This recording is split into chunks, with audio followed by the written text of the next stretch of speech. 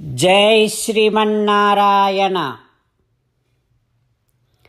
నూట ముప్పై ఎనిమిదవ నామము శ్రీ విష్ణు సహస్రనామములో నుంచి. ఓం కృతాకృతాయ నమ.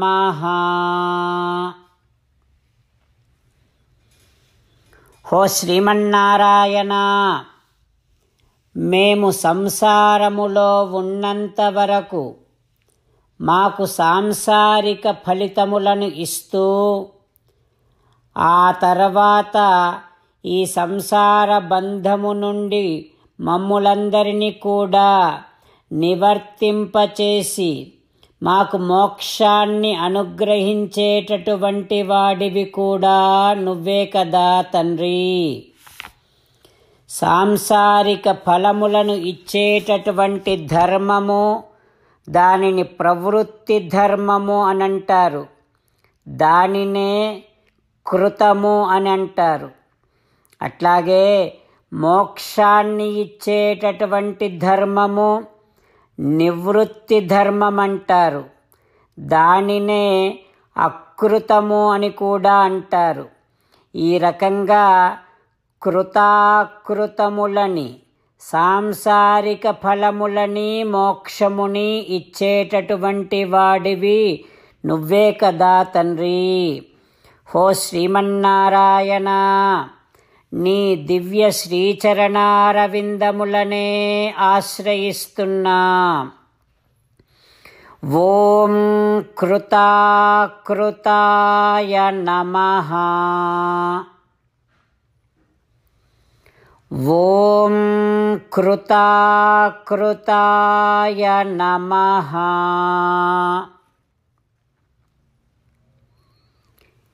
ఈ శరీరములో మనము ఉన్నంత వరకు మనకి కావలసినటువంటి ఫలములని అనుగ్రహిస్తూ ఈ శరీరము తొలగిన తర్వాత తిరిగి మళ్ళీ జనన మరణ చక్రములోనికి రాకుండా ఉండటం కోసమని తన శ్రీవైకుంఠధామాన్ని కూడా అనుగ్రహించగలిగినటువంటి శ్రీమన్నారాయణుడు మన హృదయ మందిరములోనే ఉన్నాడు.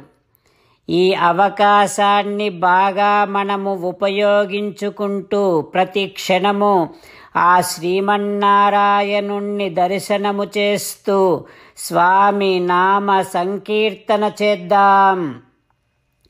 శ్రీమన్నారాయణ నారాయణ నారాయణ శ్రీమన్నారాయణ నారాయణ నారాయణ. శ్రీ వాల్మీకి రామాయణములో కౌసల్యామాత బాగా దుఃఖిస్తూ రాముడితో అంటుంది రామా పూర్వమందరూ కూడా తల్లులని సేవిస్తూ తల్లులతోనే ఉంటూ ఆ తల్లుల యొక్క అనుగ్రహముతోనే స్వర్గాన్ని చేరుకున్నటువంటి అనేకమైన కథలు ఉన్నాయి. రామా నీకు దశరథ మహారాజు ఏ రకంగా పూజ్యుడో? నేను కూడా పూజ్యురాలినే కదా రామా. కనుక నేను చెప్తున్నాను విను. నువ్వు అడవికి వెళ్ళడానికి వీల్లేదు. నేను అనుమతించను సుమా. అయినా నేను ఇంత దుఃఖిస్తున్నా నువ్వు అడవికి వెడతాను అనంటే నేను ప్రాయోపవేశము చేసుకొని చనిపోతా. రామా అట్లా నీ తల్లిని చేతులారా చంపుకుంటావా రామా? అని బాగా ఏడుస్తున్నటువంటి రకంగా మాట్లాడుతున్నటువంటి కౌసల్య మాతతోని రాముడంటూ ఉన్నాడు ఇప్పుడమ్మా. నీకు సాష్టాంగ నమస్కారము చేస్తానమ్మా. నాన్నగారి ఆజ్ఞను ఉల్లంఘించే అంతటి శక్తి నాకు లేదమ్మా. నన్ను కరుణించు నన్ను అడవికి వెళ్ళనివ్వు. ప్రసాదయేత్వాం శిరసా. గంతుం ఇచ్చామి అహం వనం. నేను అడవికి వెళ్ళాలమ్మా అని రాముడు మళ్ళీ అమ్మతోని మాట్లాడుతూ అమ్మా తండ్రి ఆజ్ఞను పరిపాలించినటువంటి మన పూర్వుల చరిత్ర అంతా కూడా నాకు ఆదర్శమమ్మా.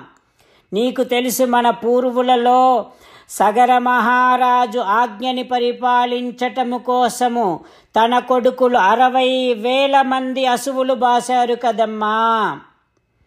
తండ్రి ఆజ్ఞ కోసమని పరశురాముడు భార్గవరాముడు తన తల్లిని రేణుకను తానే స్వయంగా గొడ్డలితో నరికాడు కదమ్మా. అమ్మా నా వరకు వచ్చినటువంటి వంశములో పూర్వులందరూ కూడా తండ్రి మాటను పరిపాలించినటువంటి వారే కదమ్మా. ఇప్పుడు నేనేమో కొత్త ధర్మాన్ని నీకు సాకుగా చూపించటం లేదు అమ్మా. ఇంతకు ముందు అందరూ ఆచరించినటువంటి ధర్మాన్నే నేను నీకు చూపిస్తున్నా నేను ఆచరిస్తా అని చెప్తున్నా. అమ్మా తండ్రి ఆజ్ఞను పాలించినటువంటి వాడు గతములో ఇంతవరకు చరిత్రలో చెడిపోయిన వాడే లేడమ్మా. పితుర్హి వచనం కుర్వన్ న కశ్చిత్ నా మహీయతే అమ్మా ఇంతవరకు తండ్రి మాటను విన్నటువంటి వాడు చరిత్రలో చెడిపోయినటువంటి వాడు లేడు. అని ఈ రకంగా రాముడు కౌసల్యామాతను ఓదారుస్తూ ప్రక్కనే నిలబడి ఉన్నటువంటి లక్ష్మణునితో అంటూ ఉన్నాడు లక్ష్మణ తవ లక్ష్మణ జానామి మమ స్నేహం అనుత్తమం. లక్ష్మణ నీకు నా మీద ఎంత ప్రేమ ఎంత ప్రీతి ఎంత స్నేహము ఉందో నాకు తెలుసు. నీ పరాక్రమమేంటో నాకు తెలుసు. నీ తేజస్సేమిటో నాకు తెలుసు. లక్ష్మణ ఒక్క మాట విను నాయన. ధర్మాచరణ వల్ల శాంతిని కోరుకోవటం వల్ల ఎంత సంతృప్తిగా ఉంటుందో. ఇట్లాంటి ఆపద సమయములో ఉన్నటువంటి అమ్మకు ఆ విషయము అర్థం కావటం లేదు తెలియటం లేదు లక్ష్మణ. అని లక్ష్మణుడితో కూడా మన రామచంద్రుడు మాట్లాడుతూ ధర్మాన్ని గురించి వివరించే ప్రయత్నము చేస్తూ ఉన్నాడు. ఆ ప్రయత్నములో రాముడు ఇంకా ఇంకా ఎన్ని ఆణిముత్యాలని వారి ద్వారా మనకందరికీ అందిస్తాడో రేపు తెలుసుకుందాం. సీతారామచంద్రులని మనసారా ధ్యానము చేస్తూ పరమదయాలువు పరమశివుడు చెప్పిన పరమపావన నామాన్ని చెప్పుకుందాం. రామ రామ దశరథ రామ రామ రామ దశరథ రామ హే హే రాజా రామ హే హే రాజా రామ హే హే సీతారామ హే హే సీతారామ పదిహేనవ శ్లోకం లోకాధ్యక్ష